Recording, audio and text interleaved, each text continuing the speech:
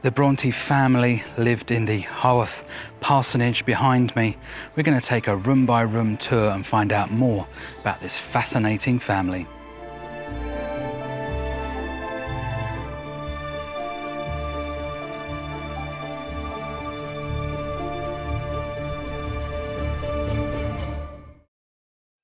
Haworth is in West Yorkshire, and the Bronte parsonage is at the top of the village. There is plenty of parking at various locations. We could park right next to the house, and prices are reasonable for a few hours. The museum is run by the Bronte Society, set up in 1893, one of the oldest literary societies in the world. It opens from Wednesday to Sunday, and you can book tickets on this website in advance or on the day from the booking desk behind the house. You enter the property via the side gate and from the pretty front garden. Entry is staggered as the rooms are quite small. The house on Church Street was built in 1778 as accommodation for the resident minister of St Michael and All Angels Church a few steps away. And from 1820 to 1861, that would be Patrick Bronte and his world famous family. To learn about their life story, do watch our video from last week, where we walk in the footsteps of the Bronte sisters following their short tragic lives. The house was modernised and improved by Patrick's successor, Reverend John Wade, and this gabled right wing was added which is now the exhibition room. As we wait to enter the house, notice in the garden the plaque that marks where a gate once opened into the churchyard used by Patrick and the family to access the church, and where their bodies pass through heading to the family vault.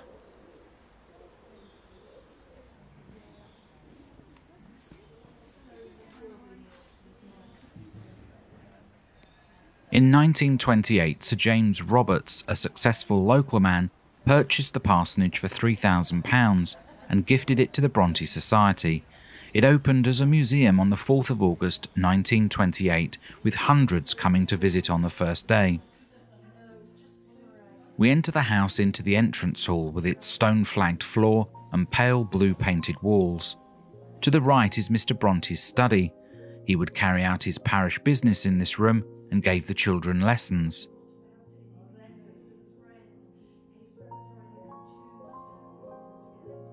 The cabinet piano was purchased by Patrick in 1830 and mainly played by Emily and Anne. Recently restored, it is in playable condition.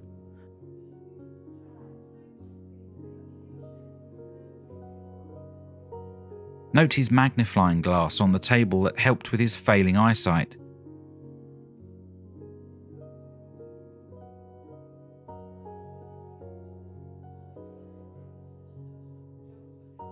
He decorated the walls with engravings of biblical scenes by John Martin, similar to those seen today.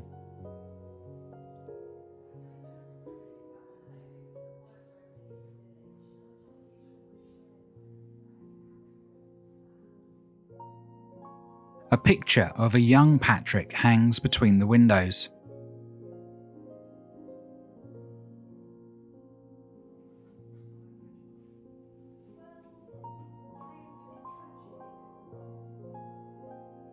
Across the hall is the dining room, also used as the family room. Charlotte, Emily, and Anne would do most of their writing here, collaborating around this table at night, reading aloud their ideas and correcting each other. Wuthering Heights, Agnes Grey, and Jane Eyre were all written here. It was also where Charlotte worked alone following the death of her sisters. She was able to afford to enlarge the room in 1850 following her writing success. Anne would sit in this rocking chair next to the fire.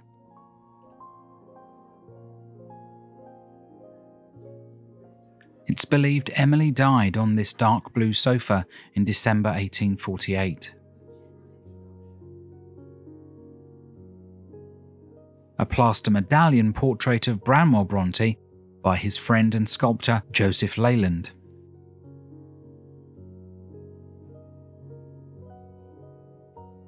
The The portrait above the mantelpiece by George Richmond of Charlotte was commissioned by her publisher George Smith. This is a copy, the original hangs in the National Portrait Gallery. The tall shelves either side of the mantelpiece are full of books the family read or used as reference.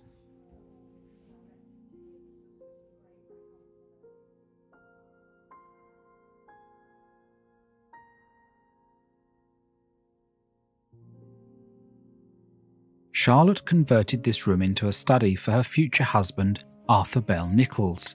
It was previously a storeroom for coal and firewood, with a door out to the back of the house. This was bricked up, a fireplace added, and a door created out into the entrance hall. The wallpaper is a reproduction of the original. The room is filled with items from the old Haworth Church, as it was rebuilt after the Brontes' time in 1879. Only the tower is original. Arthur nursed Patrick after Charlotte's death and hoped to be his successor. However, the church trustees decided on Reverend John Wade, so Arthur returned to his native island. The long case clock is believed to have been owned by him.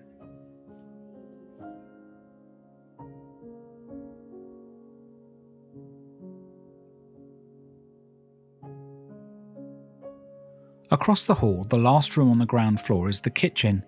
This is an interpretation of what it might have been like, as Reverend John Wade made alterations, removing the original range, blocking up the window, and adding a larger kitchen extension not seen here.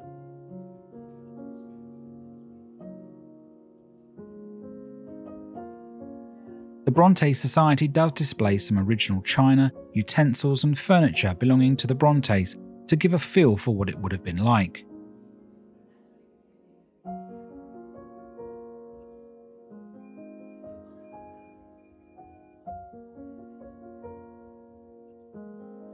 The sisters would have helped in the household tasks, along with Aunt Branwell and one or two servants.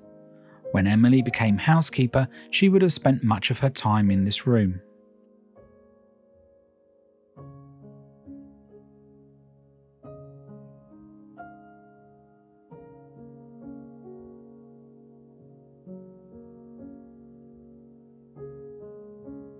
Climbing up the flagstone stairs Halfway up on the right is a mahogany long case clock made by Barracloughs in Haworth.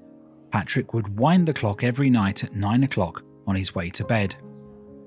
Further up the stairs is a copy of Branwell's portrait of the three sisters that once included himself.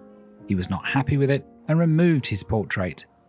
Arthur Bell Nicholls took the original back to Ireland, where it laid folded up in a cupboard for many years. The original is in the National Portrait Gallery. At the top of the stairs are four rooms to explore. The first is the servants' room. Two servants, the Garrs sisters, moved into the house with the Brontes. They were followed by Tabitha, or Tabby as she was known. A Haworth woman, she served the family for 30 years. This room has had some alterations, and exposed areas of the original blocked window can be seen either side of the fireplace. A contemporary art exhibit by Hannah Lamb called Fragment of a Dress is on display until December 2022. The window looks out over the overgrown churchyard. This is Charlotte's room, but would have been Mr. and Mrs. Bronte's room when they arrived in 1820. Mrs. Bronte died in this room of uterine cancer on the 15th of September 1821. The room still has the original fireplace and now showcases many items of clothing that Charlotte was able to purchase and wear following her literary success. This striped silk dress is believed to have belonged to Charlotte. It was found in a cupboard behind a blocked off wall in 1936. Research and comparing to other dresses in the collection attributed it to Charlotte. There are a few other personal possessions in this glass cabinet worn by Charlotte, black mittens, silk socks, and black satin slippers. Her friend Ellen Nussey gave Charlotte this decorative fan.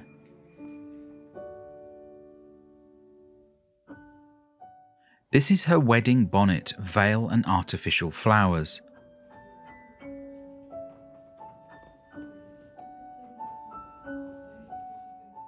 There are a number of other bonnets in the collection.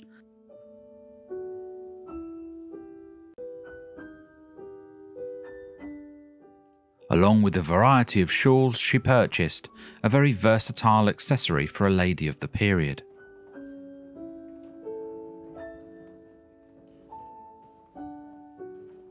Aunt Branwell took over this room when she decided to stay and care for the children. She would teach the girls needlework and household management skills from this bedroom.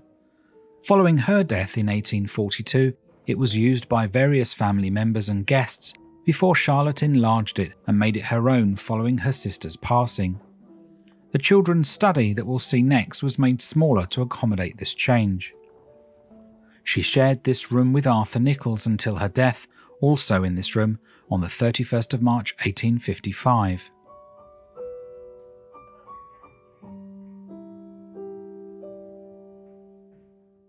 This oil portrait of Charlotte was painted after her death by John Hunter Thompson, a friend of Branwell Bronte.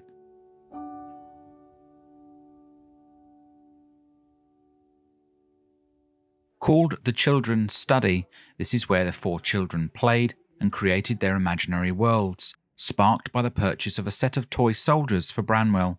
We spoke about this in more detail in the last video. They wrote tiny books for soldiers to read. It is also likely that at some point this was used as Branwell's bedroom, as he was the only boy. This was Mr. Bronte's bedroom after the death of his wife. All the beds in the house are reproductions as none survived. He had lived through the Luddite violence, and clergymen were often targets, he therefore kept a loaded pistol by his bed and strangely would discharge it daily from the window across the churchyard.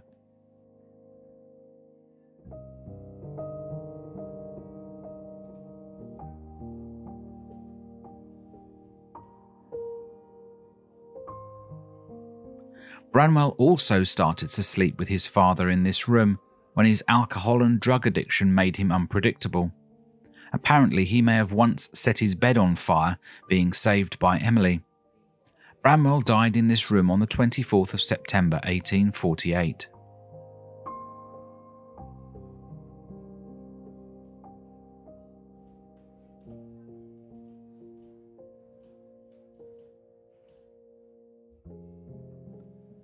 The last room in the original house was at one point Charlotte's bedroom, and then a passageway when Reverend John Wade added the extension. It was for a period Branwell's studio and is laid out as such today.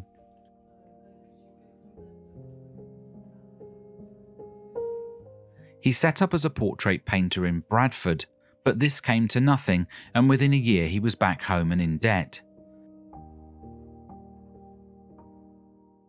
The display highlights his chaotic mind with papers, bottles, and drawings strewn all around the room.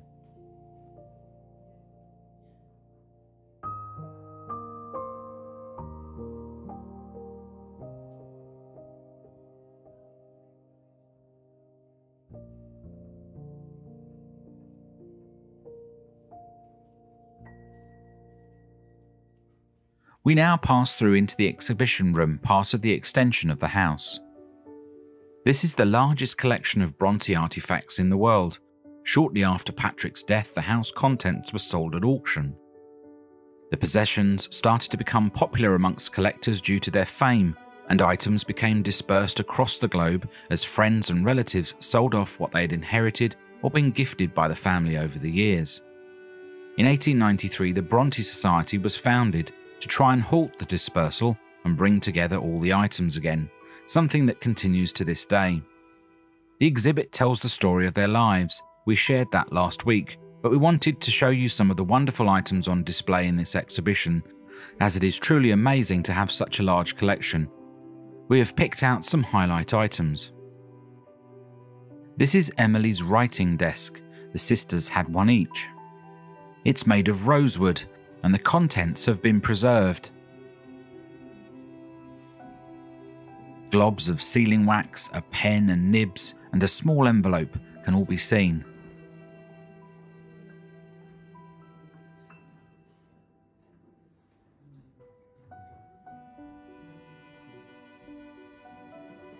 It's interesting to know that Patrick himself wrote poems and published this book in 1811. This was his inkwell, beside which are his spectacles.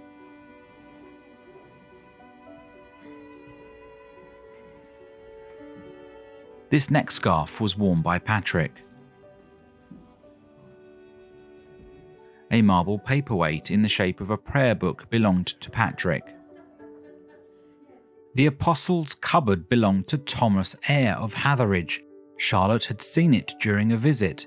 She may have taken the family name as the heroine in Jane Eyre, which she wrote a year later. The cupboard is graphically described in the novel. This is a copy portrait of the 15 year old Mrs. Bronte. And this is a watercolour when older. I believe these are the only two drawings of her known to exist a small bottle inscribed MB, Maria Branwell, Mrs. Bronte's maiden name. A selection of toys the children played with, some were found under the floorboards in the children's study in 1949. Next to that is Emily's artist box, still splattered with the remnants of paint, with a little ink pot, sealing wax, and some envelopes.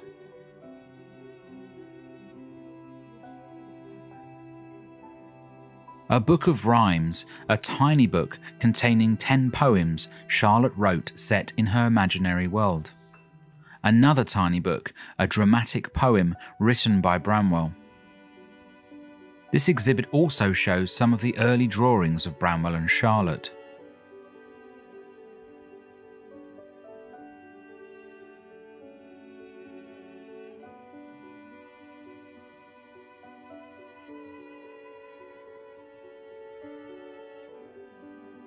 a silver medallion presented to Charlotte when she left Roe Head School, a knife and fork set used by Charlotte at Roe Head, and her painting box, believed to have been used at the school when she studied art.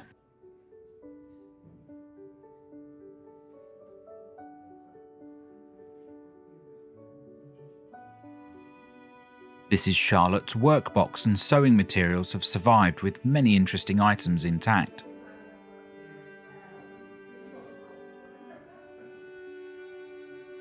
This stained glass window came from the Red House in Gomersal we visited in last week's video. Mary Taylor, Charlotte's friend, lived here. Charlotte described the window in her novel Shirley. A writing desk, pen holder, and sugar tongs are believed to have been owned by Charlotte.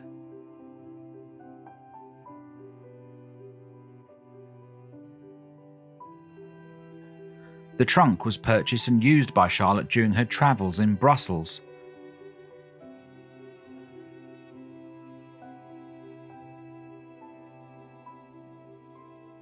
The chair belonged to Ellen Nussey, who commented that it was Charlotte's favourite when she came to stay. The Greyhound sculpture was another example of the work by Joseph Leyland, friend of Branwell, who created his portrait in the dining room. This is Charlotte's Spanish lace funeral veil.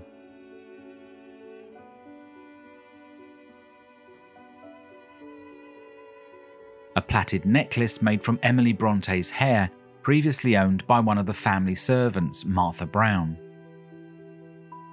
A hair bracelet and necklace made from Anne Bronte's hair, given to Ellen Nussey by Charlotte after Anne's death as a memento of her lost sister. This brooch also contains a lock of hair from Anne and passed to Ellen as well when Charlotte died. This is the funeral card of Emily's burial service. As we leave the exhibition room, on the ground floor is a further exhibit highlighting some of Charlotte's garments and accessories.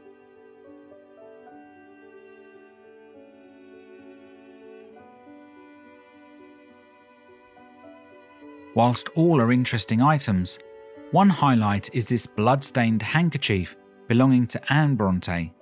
She died in Scarborough of pulmonary tuberculosis, and it was possible the bloodstains are attributed to her fatal illness. We'll be back in Haworth in a few weeks' time to take you on a walk of the town, including the church. But let's look ahead to next week.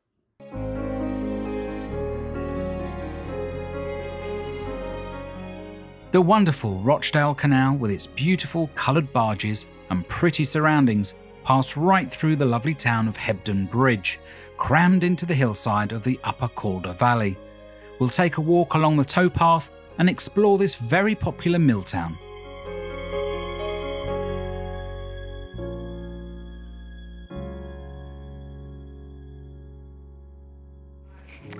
So that was a wonderful tour around the house. So many fascinating artifacts that they've managed to retain. Really enjoyable. Hope you enjoyed it too. We've got more like this on our channel. If you like this one, you may well like our Jane Austen.